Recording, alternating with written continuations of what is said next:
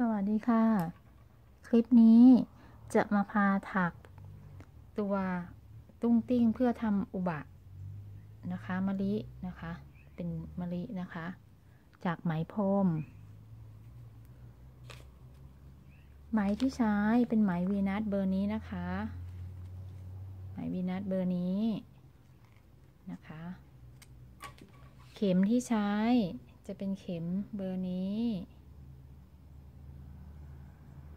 เบอร์อะไรล่ะเนี่ย ไหนล่ะเบอร์หาย อ๋อ อยู่นี่ อ่า เบอร์นี้นะคะ หรือเบอร์อื่นที่เราเกี่ยวถนัดก็ได้นะคะ เข็มแต่ละยี่ห้อนี้มันจะไม่เหมือนกันเนาะ เอาว่ามันเกี่ยวขึ้นก็แล้วกัน วิธีการก็คือคล้องนะคะคล้องห่วงก่อนคล้องให้เป็นห่วงก่อนตรงนี้ปึ้งนี่นะคะคล้องห่วงก่อน ตุกไว้ เสร็จแล้วก็โซ่สองนะคะหนึ่งสอง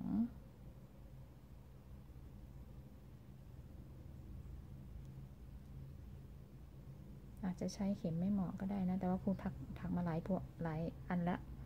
อะทีนี้เราก็ดึงดึงห่วงนี้ขึ้นประมาณ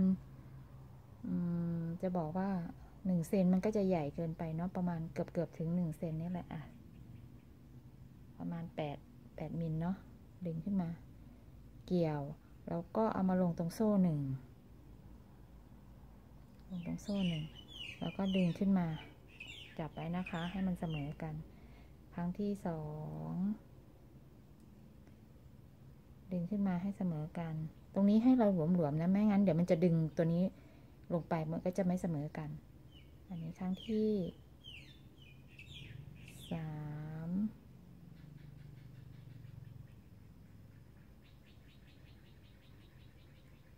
ครั้งที่สี่พอได้สี่เสร็จเราก็รวบเป็นรวบเสร็จแล้วก็คล้องซีที่เขาเรียกว่าซีนะนะคะ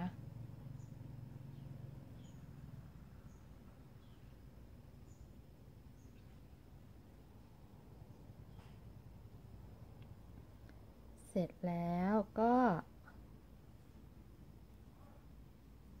โซ่หนึ่งนะคะ แล้วก็เกี่ยวตรงนี้ เกี่ยวตรงที่เรามัดนี่นะคะ เกี่ยวลงแทงลงไปอย่างนี้ เสร็จแล้วก็ C นะคะวงห่วงลงไป เสร็จแล้วก็ดึงตัวนี้ออกมาให้เท่ากับตัวนี้ ให้เท่ากันกับข้างล่างนี้นี่นะคะ ให้เท่ากันดึงเข้ามาให้มันเท่ากันกับข้างล่างนะคะ เสร็จแล้วก็ ล้วงเข็มลงไปกึ่งกลางของดอกตัวนี้ ให้มันทะลุลงมาห่วงที่เราคล้องข้างล่างตรงนี้ เนี่ยค่ะ ให้มันทะลุลงมาข้างล่างตรงนี้ไหมคะเดี๋ยวดูใหม่ อาจจะอาจจะไม่เข้าใจ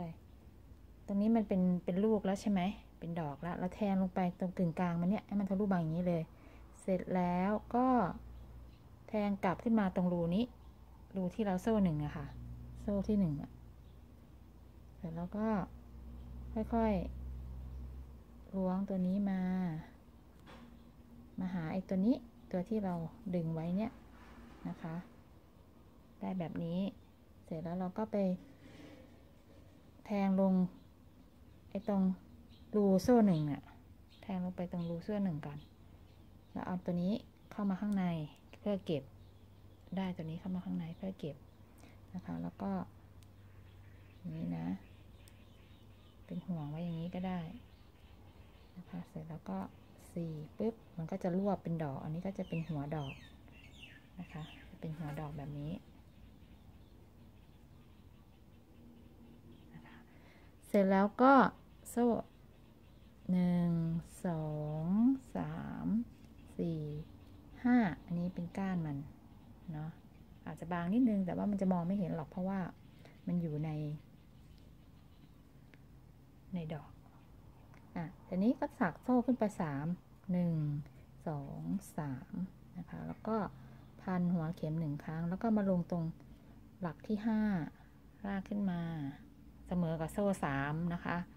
เสร็จแล้วก็ เหลือห่วงไว้นะคะ แล้วก็รวบ ปุ๊บ แล้วก็โซ่สามหนึ่งสองสามแล้วก็มาลงตรงข้างล่างนี้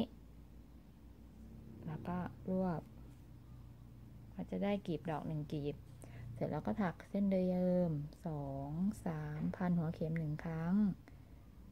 แล้วก็ไปเลยนะคะ ก็หนึ่งสองสามทำทั้งหมดห้ากลีบ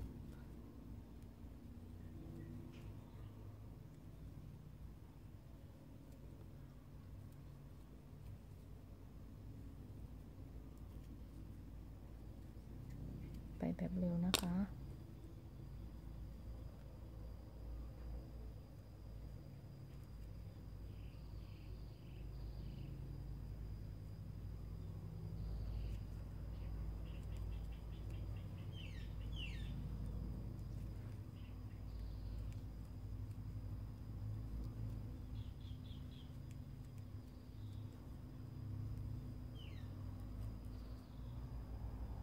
ได้ห้าขีบแล้ว เสร็จแล้ว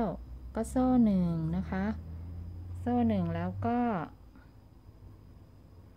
พอโซ่หนึ่งให้เราเอาเข็มเนี่ยล้วงเข้าไปตรงกลาง แทงลงไปตรงๆนะคะ แล้วก็เฉียงขึ้นตรงกลางกลีบดอกตรงนี้นะคะ เฉียงขึ้นกลางกลีบดอกทะลุเข้ามาเลย อย่างนี้นะคะ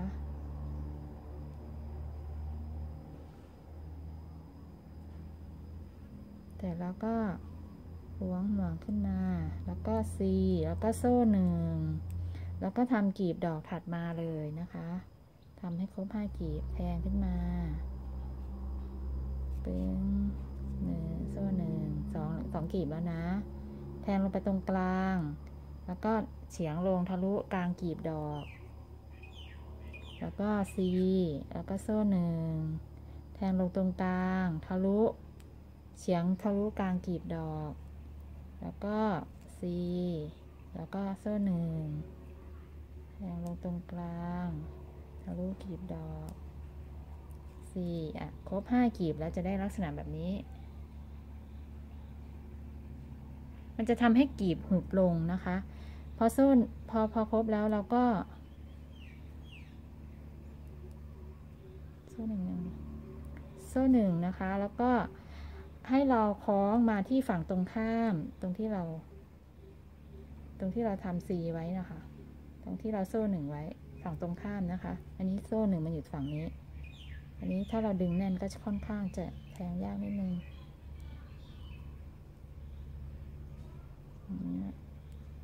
เกี่ยวขึ้นมาอย่างนี้นะคะ เสร็จแล้วก็ทำห่วงคู่นะคะ ห่วงคู่เสร็จแล้วก็รวบนะคะมันจะได้ลักษณะแบบนี้นะคะ ดอกมันจะหุบลงเสร็จแล้วก็โซ่ห้าหนึ่งสองสามสี่ห้าแล้วก็ต่อด้วยโซ่สามหนึ่งสองสามแล้วก็ทำดอกเหมือนเดิมนะคะทำยาวเท่าที่ต้องการ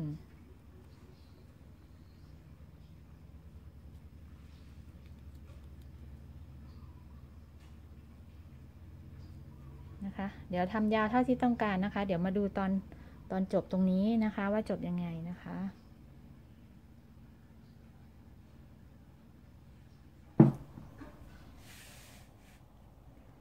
กลับมาค่ะ เพราะอันนี้คุณจะทำแค่หกดอกนะสองสี่หกหกดอก พอดอกที่เจ็ดคุณจะเป็นมะลิมะลิเนาะมะลิตูม ก็นี้ตัวนี้เรารวบเสร็จแล้วนะคะ เราก็ถักโซ่สอ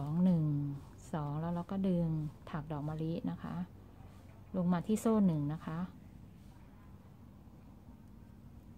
สองสาม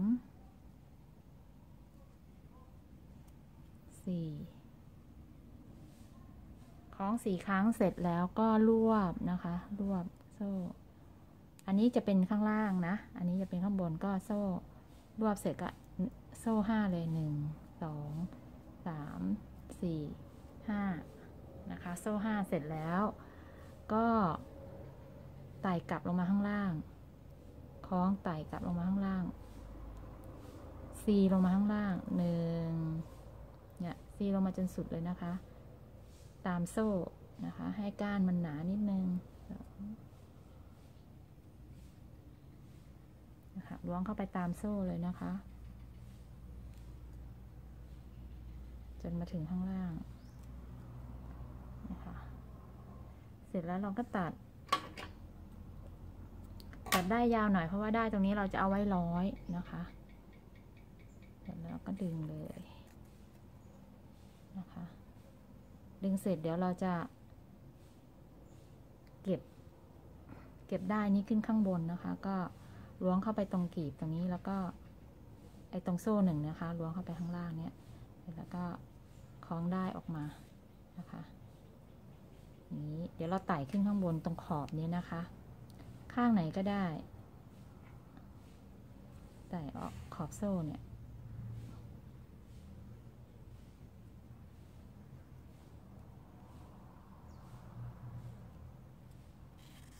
นะคะ